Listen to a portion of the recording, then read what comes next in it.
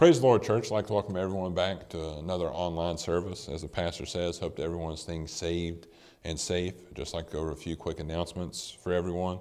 Remember, if you have any prayer requests, names added to the prayer list, or any praise reports, please send those to cljcrequests at gmail.com. Uh, since we're unable to pass around the, the fasting calendar, please continue up to do your, your normal dates. Uh, if you're feeling extra generous, you know, throw a few extra meals on there. Well, we need fasting 24-7 during this time.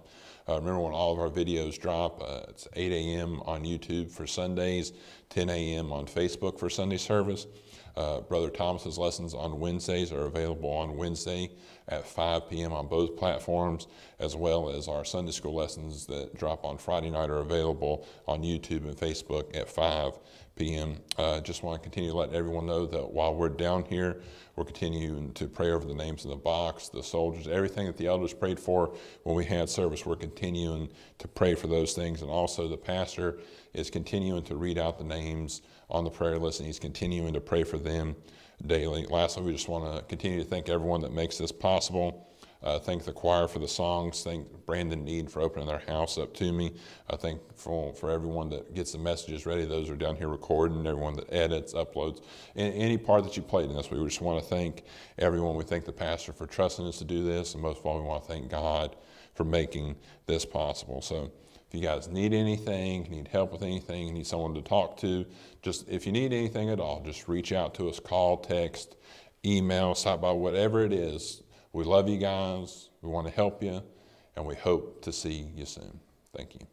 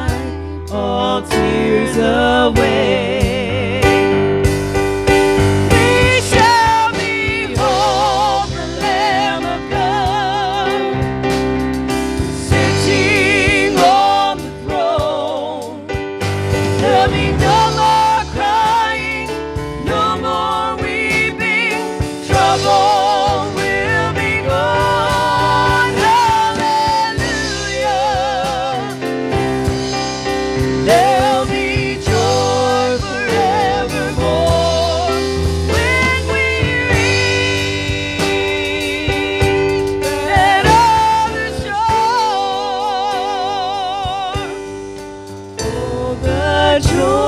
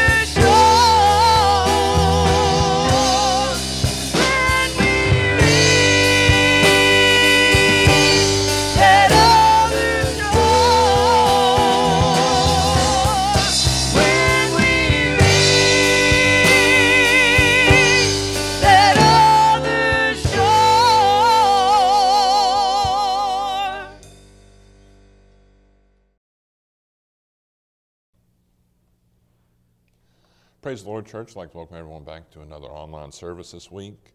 As always, if you missed the major announcements, please feel free to, to rewind and catch those.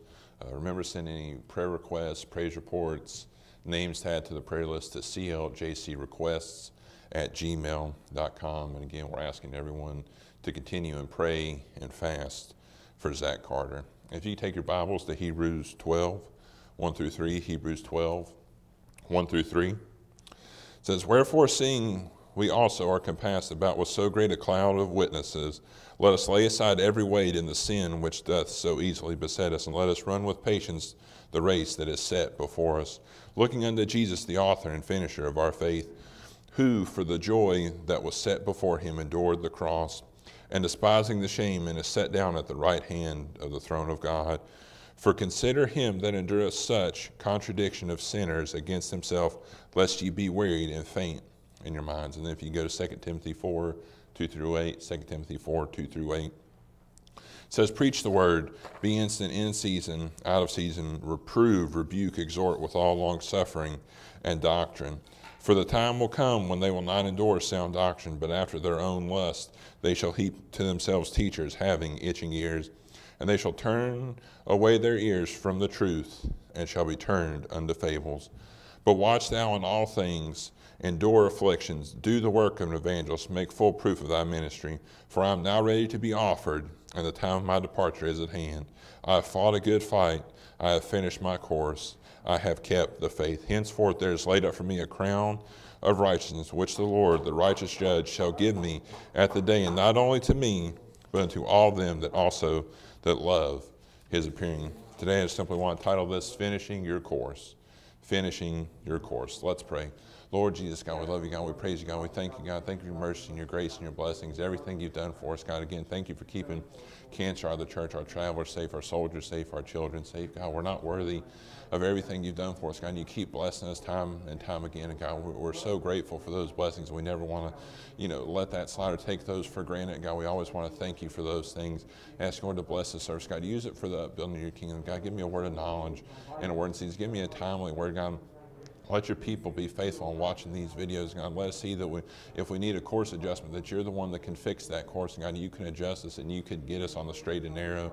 Because what matters in the end is, God, where we finish our course, and we want to do what it takes to make it into heaven. God, I ask you, Lord, to bless your church. God, bless the pastor. Give wisdom and knowledge in this time. God, keep your people unified.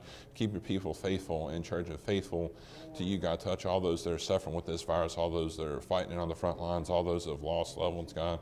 God, move from God. Speak that word of healing, God, to, to wipe this virus out, to do what it takes to, to get us in the church, God, without restrictions, because we know it's almost been a year, God, we'll continue waiting on you, but we want to be back in your house again. God, bless our leaders of our nations, God, bring peace, God, bring love, uh, just you can take all this division, everything away from our nation, God, you can move for it, Lord. God, we give you all the praise and the glory for it, Lord. In Jesus' name we pray. Amen, Lord.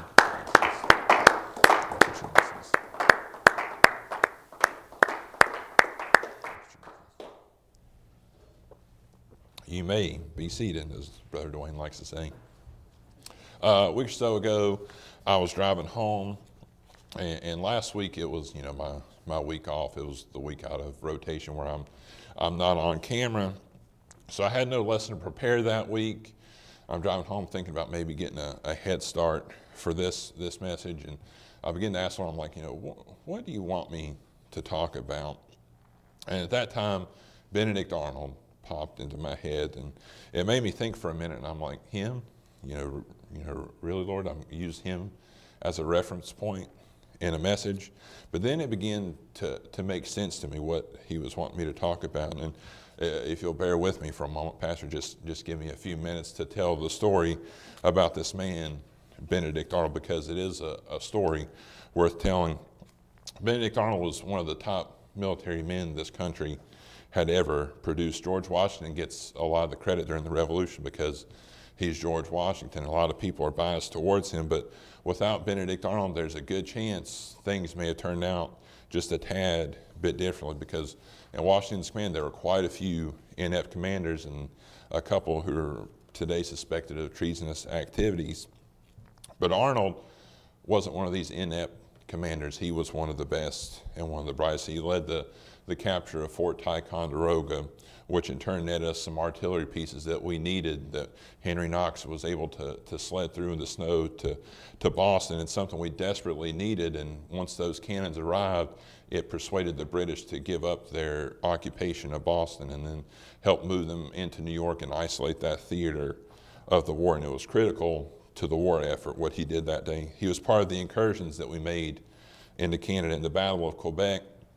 He was shot in the leg and had to be removed from the field of battle. And though the British would eventually drive us back out of Canada, you know, we were outnumbered. He led, he led a, a great defense and helped create one of America's first navies and led one of our first naval battles on Lake Champlain. He was a, a brilliant man, but even though we lost that campaign in Canada, it helped bog down the British for another fighting season and helped delay their invasion from Canada. In 1777, he led a small force trying to stop the British from taking a supply depot in Connecticut. And here again, he was shot in the exact same leg. And now comes the peak of his career and, and what was what's dubbed the, the major turning point in the Revolutionary War, and that's the battles of Saratoga. Army politics and, and infighting and his personality and other generals' personalities kept him grounded on the, the first day of battle, or the first series of battles. But in the second one, he was told to stay in his tent, but he directly disobeyed those orders and rode off in a fury towards the fighting. And he rode through the thickest of the gunfire, and he remained unscathed. He led a charge that helped break down the British lines, that helped make them to crumble, that caused them to retreat. And once more, he was shot again in the exact same leg. His actions once again helped delay or helped nullify the, a British threat from a second invasion from Canada. It showed the French and other European nations that we were more than just a bunch of angry farmers. It, it led to loans that we desperately needed. It led to guns, to, to manpower, to naval support that we needed. An American hero was Benedict Arnold. Three times he shed his own blood for the cause of liberty. After being shot the third time, he was reported to say, It would have been better had I been shot in the chest than in the leg. And if only that had been his case, if only his words back then had come true for his cause, then he would have went down as an early American hero. But we know, if you've taken a basic history class, that's not how his story ends. There are not really any Benedict Arnold squares like there are Lafayette squares or, or you know cities named after George Washington. So Washington puts him in charge of Philadelphia as he recuperates. And long story short, Army politics were involved, extreme pettiness on all sides, disgruntled over lack of promotions, and Arnold finds himself in a very dark place. And he begins to hang around the wrong people. He begins to hang out with the loyalists in Philadelphia. And, and people say, often say, the worst decision George Washington ever made was putting Arnold in charge of Philadelphia because he was a man not prepared for that task. And these loyalists, those were the ones opposing the revolution, the ones loyal to the king, the ones who Arnold had shed his blood three times fighting against, but he begins to hang out with them day after day, and eventually he marries a prominent young loyalist named Peggy Shippen, who just happened to be tight with one of the chief spies in New York for the British. And this leads him down the path of betrayal, offering to sell West Point to the British, commanding British troops to fight against Americans capturing Richmond, burn up the Virginia countryside, and eventually in a battle in Connecticut, when American soldiers surrendered, he went ahead and slaughtered them, even though they had surrendered. And y'all know I love history. It's, it's my bread and butter, but all the great things that Arnold had did for this country, aside from helping at Ticonderoga and a brief mention at the Battle of Saratoga, is nothing I ever learned in school. It wasn't until a few years ago when I began researching the topic that I found all these things out. I knew about his betrayal because Benedict Arnold, that's a name synonymous with the word traitor. And that man, Benedict Arnold, should be a lesson to us all because it doesn't matter where you started or what good you did in the middle of your life. What matters is how you finish your race. Did you persevere? Did you give all that you had, or did you simply give up? Or, like him, did you switch sides? Did you begin to work with the enemy, the one you so desperately fought against to begin with? Did you change your directions? There are paths upon paths upon paths, different roads that we can all take through this life, but they all whittle down to two different finish lines. There are two finish lines that you can cross, and there's no turning back once you cross either one. One means your name is written down in the book, and the other leads to nothing but a life of torment.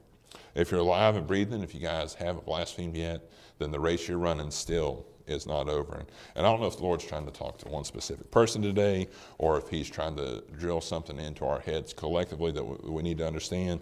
But if you guys notice over the past few months, He's given us points and points, and you know several of them have been about you know correcting your course or you know being on the straight and narrow i believe the pastor preached the message look to yourselves we had a sunday school lesson about considering your ways there's been others that have been you know where are you spending eternity at they've been focused on or examining where you are with your walk with god and now it's not exactly the time to give up on that walk or to turn around brother dwayne talked about it uh, in, in friday's lesson about having the vision. You know, examine your sight right now and examine yourselves and, and look down that road. Is your vision fixed on getting to heaven? Is it focused on the finish line?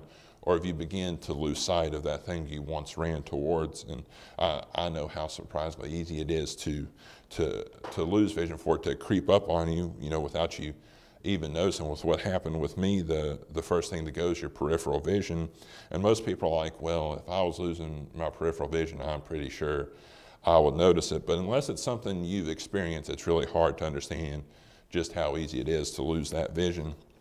And I don't know when the tears in the, the retinal tissue started, but I kept working. I kept doing the same thing that I'd done day after day after day that I'd done in the past, and I did not realize that it was causing damage to me until one day I woke up and all I could see was a black cloud out of one eye.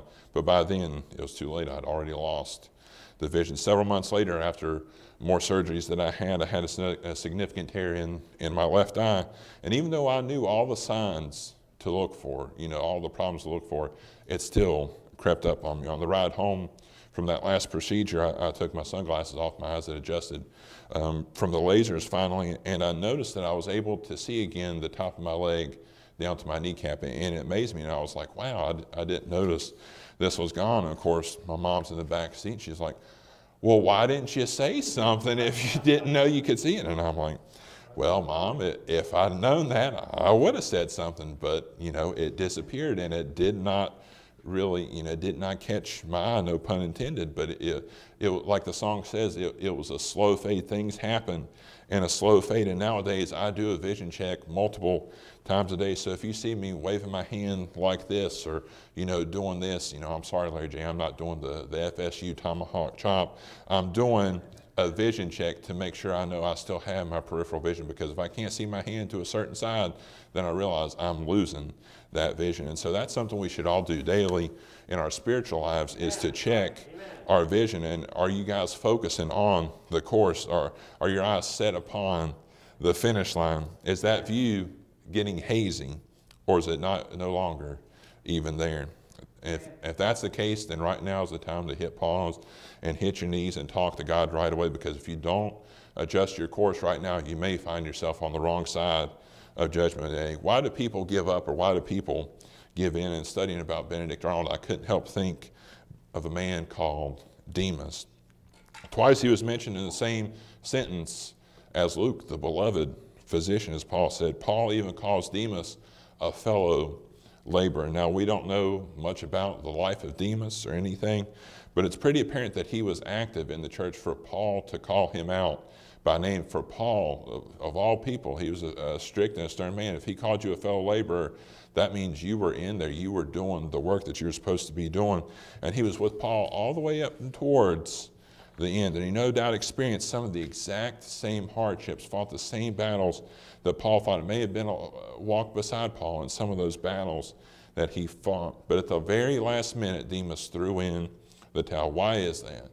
Paul said, He's forsaken me because he hath loved this present world. Paul himself was determined to finish, and he knew what was on the other side of that finish line. We read it earlier, but I'd like to read it again in 2 Timothy 4 7 through 8. He says, I have fought a good fight.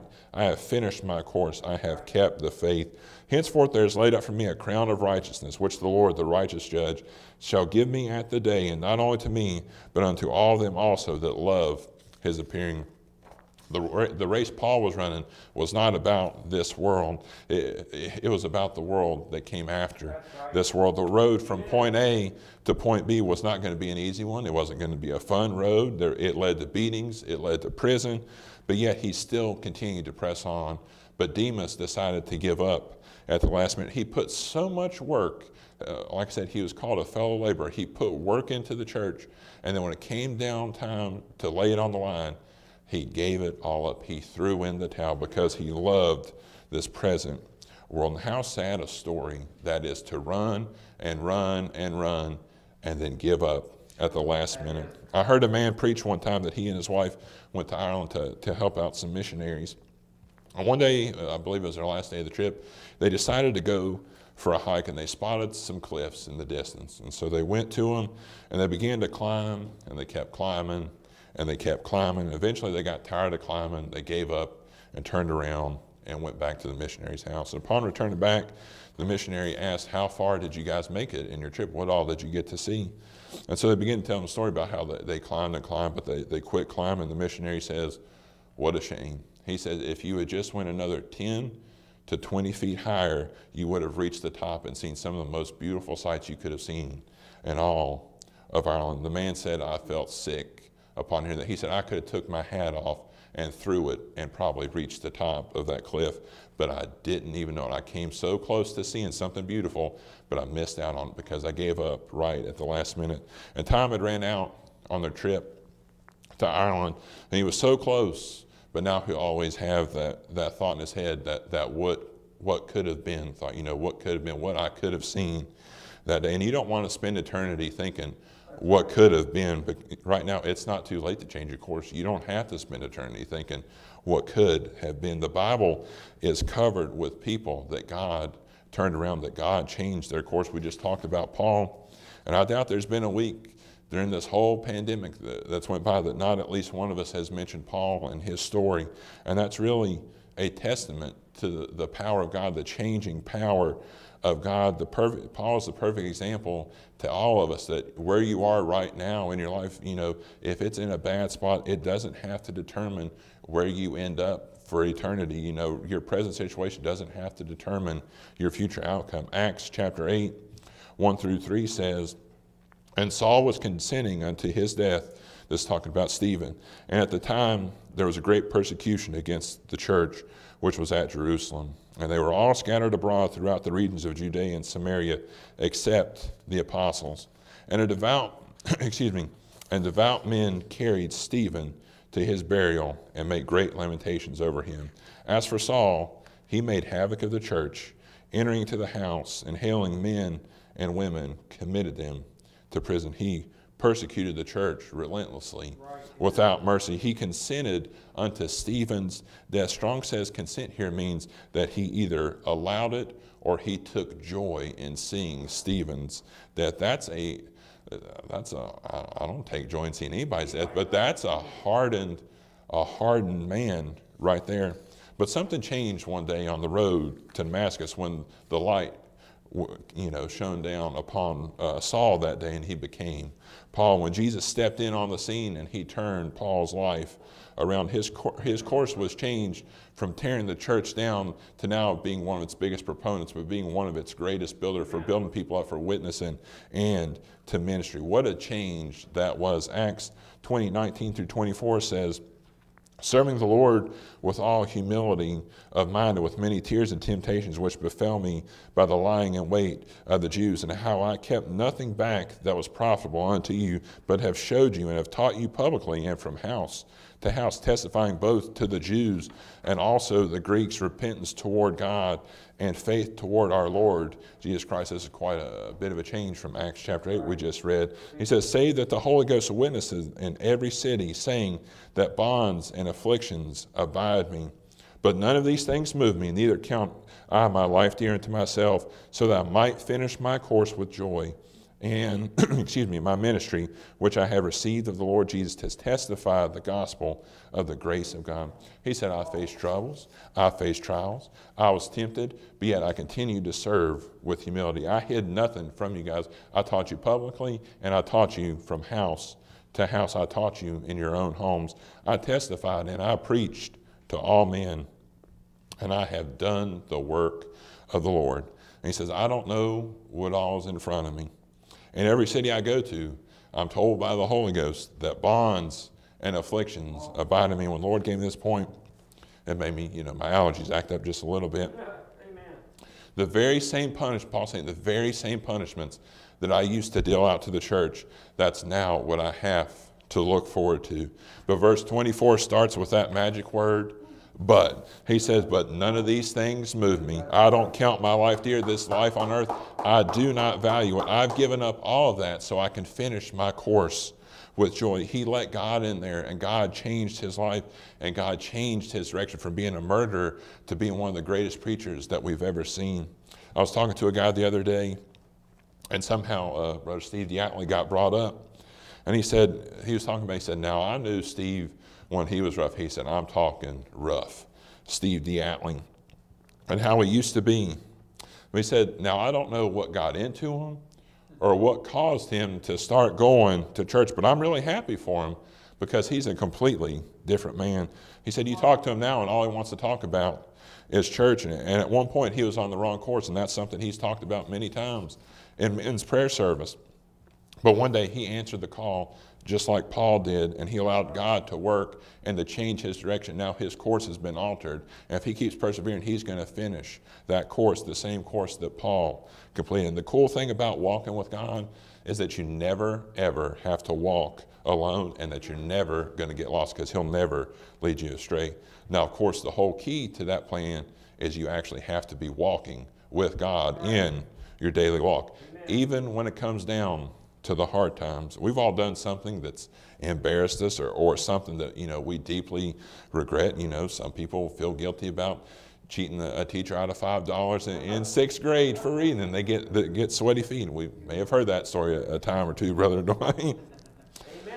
But imagine being someone like Paul. Imagine being in Paul's shoes, looking out over a church congregation that not too long ago you were the one who just wreaked havoc and persecuted that church may have seen those that he had thrown in prison, the ones he had beaten, the ones, you know, maybe he even saw Stephen's loved ones and his friends and his family. We don't know. He may have seen the families of the people that he had himself tortured and had pressed to commit blasphemy the, that he knew was the unforgivable sin, the pressure, the shame, and the guilt that he must have felt.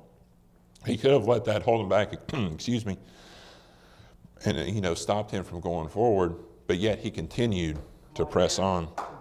And if God can help someone like Paul, why do you think he can't help someone like you? Some people let their baggage, let their past hold them back. But God's saying there, saying, He said, Give it all to me. Cast all your cares upon me. Any burdens, any baggage, anything you've got, my shoulders are strong enough to take it. You don't have to carry it. All you have to do is come to me and let me set your path straight. Let me set you on that straight and narrow path.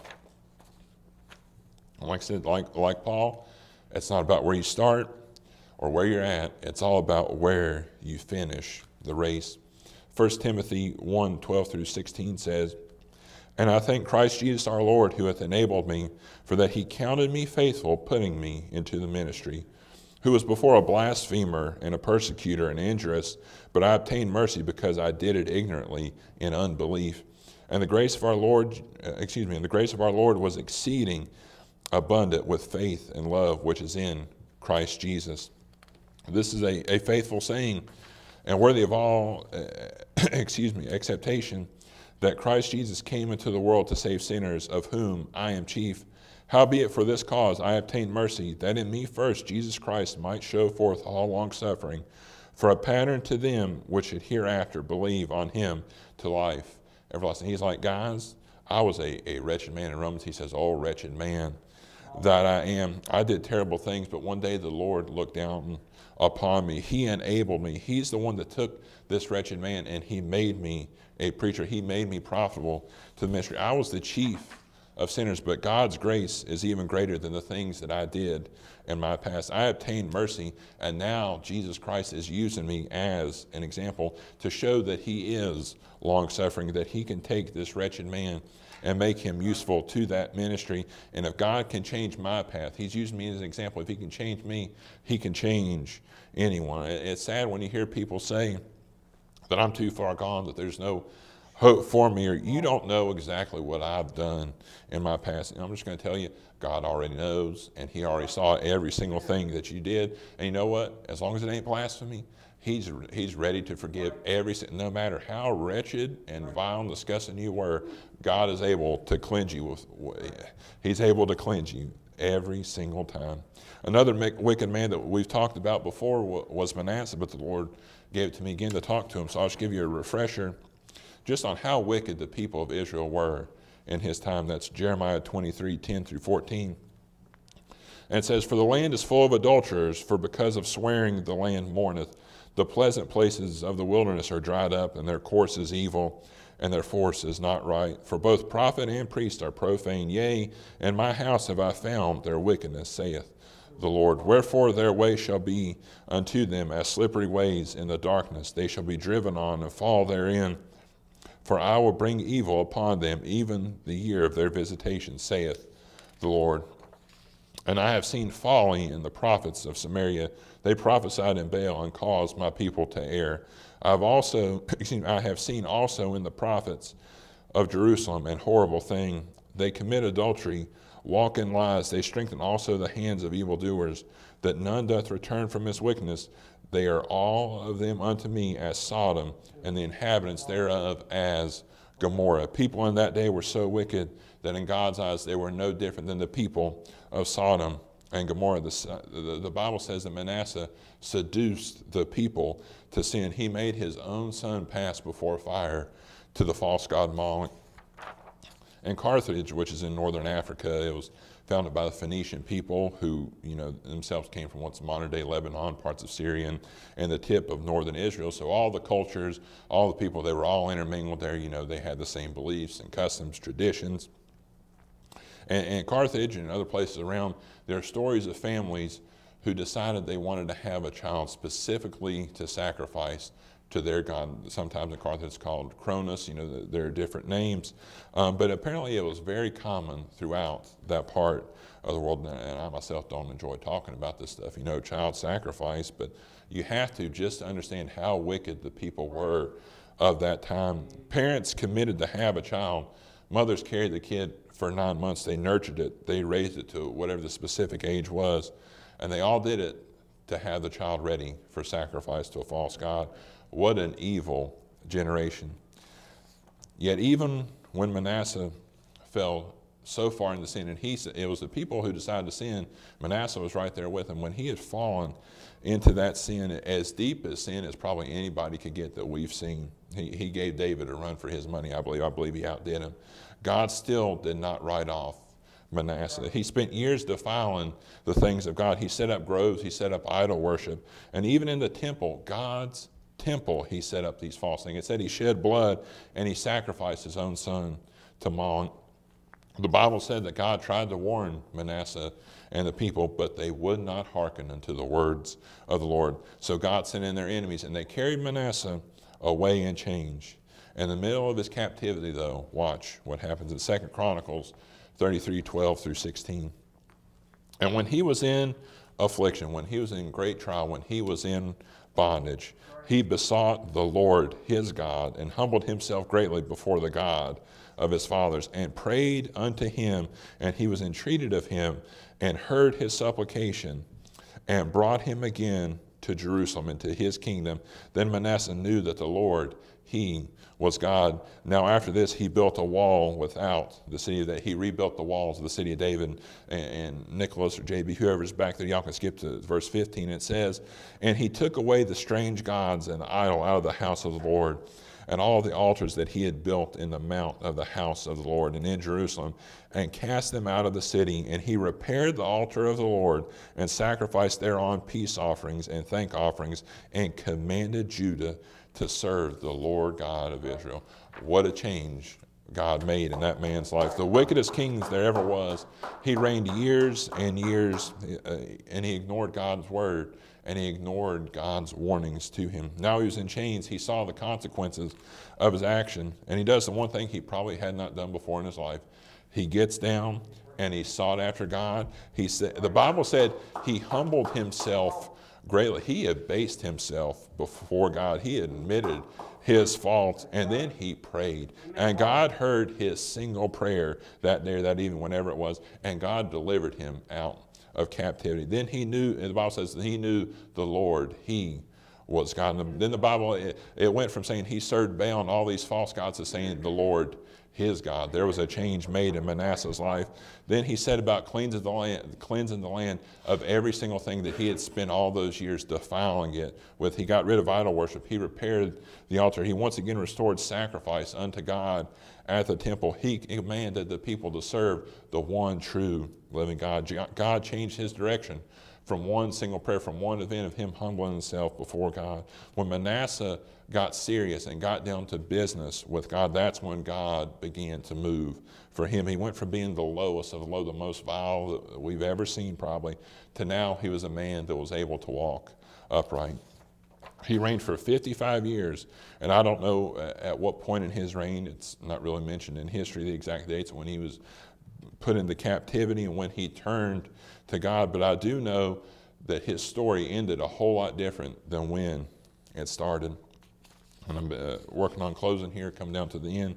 If y'all can go to 1 Corinthians 9 and 24, it says, Know ye not that they which run in a race run all, but one receiveth the prize, so run that ye may obtain. Only the winner that run in the race receives that prize. Run that ye may obtain that prize. Keep pressing to the finish line so that you can receive that reward. Paul said, I press. I press towards the mark. I press towards the goal of the prize. I want to receive that reward. I'm going to keep on pressing and running that race. Just keep on pressing running your race day after day. Continue on that course because, like I said, only the winners are the ones that receive the prize. Remember that commercial. Only winners get sprinkles. If you guys want the sprinkles of God, the blessings of God, you've got to win the race. Examine where you are on your course. If you look straight ahead, can you see the finish line in the distance? Or have you wandered off path and completely gone the opposite way? It's up to you, you know, where you want to end your race. That, uh, as Bible says, work out your own salvation with fear and show me It's completely up to you where you want to spend eternity. Paul said, let us run this race with patience that's set before us. It's a marathon. It's not a, a 40 yard dash. It's a 24 7 type of race. And it, you have to keep pressing and pressing if you want to make it across that finish line. But if we keep pressing, if we keep doing what God wants us to do, we know He's right there with us. Driving home yesterday, I heard a, a where we've been out of church. I've heard a song that I hadn't heard in probably about a year now, and says, "How great it is to serve a living God who knows each breath I take and every step I've trod. How great it is to have a God that wants to run that race every single day with you, that He cares for us, that He wants to spend eternity with me and you. If you examine yourself and you see right now you're not exactly where you're supposed to be on that course, it's not too late for you to ask Him to set your course right, to get down like Manasseh did and fix things. And right now you can humble yourself greatly, just exactly like Manasseh did, and pray. Confess your shortcomings to God. Ask Him for guidance to help Him with your race to keep you focused on that finish line. Some of us may hit a, a small stumbling block in our lives, and, and others may go completely astray. God is able to deliver each and every single one of us. He's able to pick us up and turn us around to focus on that finish line and just keep pressing forward. And no matter what gets in the way, just keep plowing forward to that finish line so that one day you can finish your course. Let's pray. Lord Jesus, God, we love you. God, we thank you. I thank you for mercy, your grace, your blessing, everything you've done. God, thank you for your word today. God, help us to, to get our eyes fixed upon you like we talked about this week. God, getting the vision, God, to get heaven focused on our vision that we can finish that course, that we can run that race that is set before us. God, give us the endurance. God, give us the patience to, to run this thing, to see it through to them because we don't want to be like those that give up at the last minute, God, those that turn away right at the last moment who have put so much time into this thing, God. God, we know you can bring back our lost loved ones who have once ran this race, God, who have given up on it, but you can turn them around just like you did with Paul, like you did with Manasseh and all the others, and Zacchaeus and all of them in the Bible, that the ones that you've made the change in their life. We've seen so many in our church, God, that talk about how rough they once lived, God, but now that you, they let you in their lives, God, that you changed them, you took them, you turned them around from who they once were, and you can do that with our unsaved loved ones. As the pastor said, all the sorry in the church, God, you can straighten all of them out, God, and help us do what it takes to make heaven our home. God, again, we ask, Lord, to bless the church. God, keep us united, keep us faithful, keep, your, keep us faithful in watching these videos and, and, and listening to it and heeding your words, not just being hearers of the word, but actually doing that word. God, give the pastor wisdom and knowledge during this time. Touch all those that are suffering with these diseases, all those that, that have lost loved ones. God, you can comfort them. God, speak that word of healing to get this thing away. God, we give you all the praise and the glory for it, Lord. In Jesus' name we pray. Amen.